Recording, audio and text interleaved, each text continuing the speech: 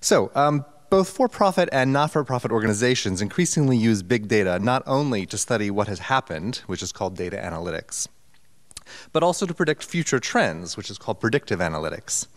With certain notable exceptions, such as student recruitment in US institutions and compulsive evaluations of research productivity in the UK and Australia, academia has generally lagged behind other sectors, other sectors in its use of big data.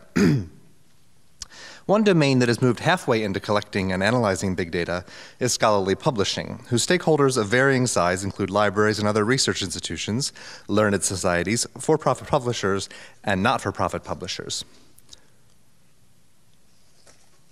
So um, when I say big data and scholarly publishing, what am I talking about here? So this is not data sets created by researchers or other types of research outputs, or we sometimes call them research data, but I'm talking about big data about published research. so what kind of big data about published research? So this is data generated by publishers and aggregators of content, such as purchasing data, licensing data, online usage data, web analytics, and even subject classifications of products. Um, but also um, data from research institutions. So for example, library data, few types are given here, and um, what might be called structured productivity data that comes out of these sort of online faculty CV systems. Um, they go by many names. Um, perhaps you know CRIS, um, but RIMS, people call them many different things, and they're all more or less the same. but I'm also talking about data from uh, third parties. So, for example, bibliometric services and social networking sites. So um, all of these, like other forms of big data, can be used for various types of assessment, but also for predictive analytics. For example, which types of publications are most likely to be purchased, used, and cited. So gathering, integrating, interpreting, and reporting data about published research takes a lot of time and expertise, not something that many publishers and libraries, especially smaller not-for-profit ones, have a lot of. These publishers and libraries struggle to identify, much less predict, uh, important usage trends and opportunities through which they might uh, extend their impact.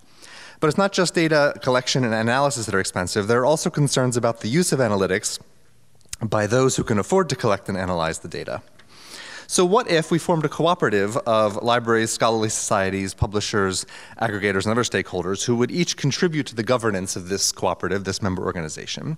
What if the members contributed data that they create about scholarly communication, so their kind of small view of the world, to this cooperative, and then the cooperative, thanks to um, fees paid by its members, had the staff and tools to aggregate, normalize, and contextualize this data for its members showing them how their little piece of the world, the data that they uh, gathered and contributed, uh, relates to that of all the members, but in a way that would adhere to a code of conduct um, about the sort of ethics on this use of data here.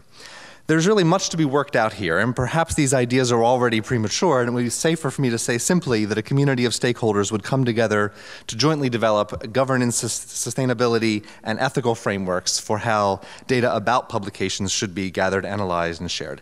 Um, I'd like to think that such a cooperative, let's call it a Publishing Analytics Data Alliance, could be designed to provide something of value to even the largest commercial players, and that a shared governance model would ensure a continued community voice in how data about publications is gathered, analyzed, and used. We really need, the, need the involvement of as many stakeholders as possible. We can't just convene a group of experts to propose the whole model and then expect everyone else to jump on board. If they don't feel invested from the start, it won't go anywhere. So um, the vision I've just uh, outlined is something I've been developing with some colleagues here. Um, you can find out more information here. Um, we are interested in hearing from others on their thoughts. Um, we want to do an environmental scan, and uh, but we none of us have time for it. And so, uh, if you uh, have some ideas of how we can move forward on that, um, we'd love to hear from you. Thanks.